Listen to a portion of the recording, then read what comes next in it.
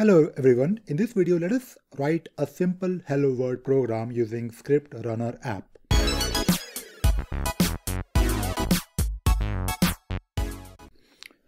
So once you install Script Runner app on your Jira instance, you can go to the Jira administration section on the top right corner, and then you can go to the add-on section. So once you are inside the add-on section, you can find the Script Runner section on the left hand side and uh, this particular section will only appear when you have a valid license of uh, script runner add-on. So once you install the script runner add-on even for the evaluation purpose you can get the evaluation key from the marketplace and then you can start uh, writing your scripts. So the very first thing that you can do after installing script runner app is you can go to the script console. Now script console is uh, a place where you can simply type in your scripts, your Groovy scripts within your uh, Jira instance. And the good thing, the good thing about script the good thing about script console is that you can actually uh, write uh, some scripts very quickly, and you can take a look at the output uh, right within your Jira instance. So if I do a very simple return statement where I want to return hello world, and if I run this particular uh, uh, piece of code, you can see here that we have the output which is uh, displayed and uh, this particular uh, script console will not let you uh, do any mistakes because if you are uh, not writing valid code you can also take a look at this particular uh, error message that is displayed that you cannot find that it says it cannot find a matching method. So it is actually a good thing because you can actually see whether your uh, code will work or not. So this is it guys. You can actually type in your simple script and uh, use using the script runner console. You can play with uh, your Jira instance. But in this video, we will not uh, simply write a hello world. I want to also show you a sample script. I want to give you this example where you can fetch some details of a particular issue. So this is one script that you can directly use in your instance to fetch the summary of your issue. For example, for this particular issue, uh, which is uh, iOS-2, that is my issue key.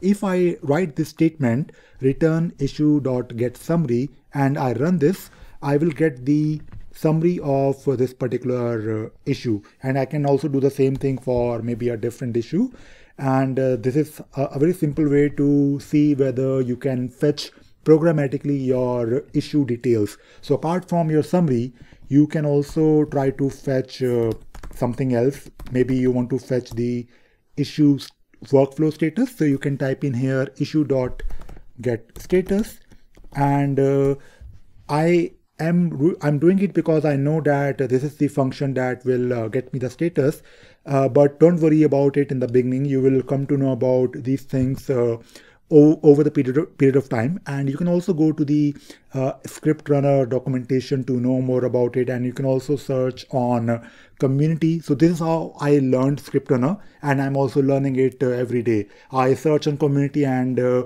I will also share very quickly with you guys how to stop worrying about different functions. And there's a way to easily find different functions that you can use. So before that, let us try to fetch the status in a proper way. Right now, it is showing me this particular string, which is fine. And I can see here that uh, my status is done, but I want to fetch the name here.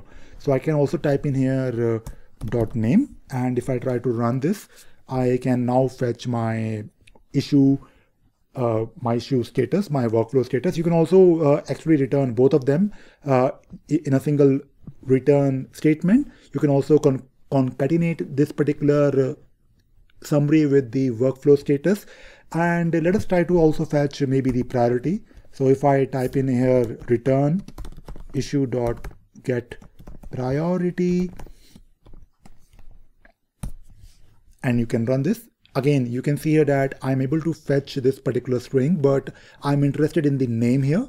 So I can type in here dot name. So my priority is uh, low for this particular issue key. I can change it to maybe something else to see whether the priority is always low. So yeah, the priority is also low for the other issue key. So this is it for this particular video guys. I hope uh, you learned something but uh, apart from script console, I also recommend you to install IntelliJ on your uh, computer and once you install IntelliJ on your local computer, you can also use it to write scripts on your Jira instance. And there is a way to do it. It is uh, not very difficult, but you need to read the script runner documentation. I'll probably give you the link of that particular documentation uh, in this particular video description.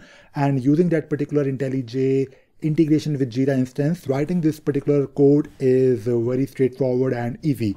But the console is also a great way to write quick scripts and test whether the script is working or not. So in coming videos, we will explore more things about uh, Script Runner and we will take a look at various features. And of course, uh, since we are talking about Script Runner, we will also take a look at various scripts for doing uh, things to make your life uh, easy. So I hope this video was uh, useful. Thank you very much.